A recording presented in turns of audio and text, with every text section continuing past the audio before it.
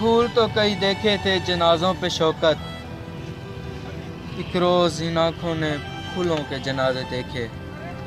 हम passion palace media group की तरफ़ से आर्मी पब्लिक स्कूल पिशावर में शहीद होने वाले तमाम शहदा की बेमिसाल शहादत पर उन्हें खराज तहसीन पेश करते हैं।